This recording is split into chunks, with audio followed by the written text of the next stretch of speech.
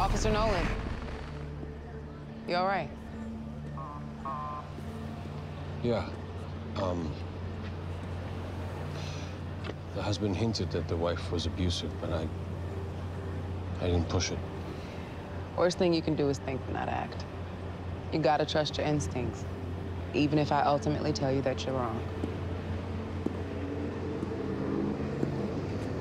You all right, Officer Nolan? I heard it got real in there. Yes, sir, I'm fine. Good. But you go start the paperwork while I talk to your TO. Yes, sir.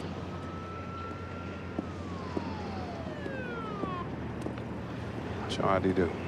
He dove right in, even though there was a knife. Good for him. But maybe not so good for us. You know our rookies are best trained young, Officer Bishop? Because kids don't know anything. 40-year-olds. They think they know everything. Training them is like turning the oil tanker.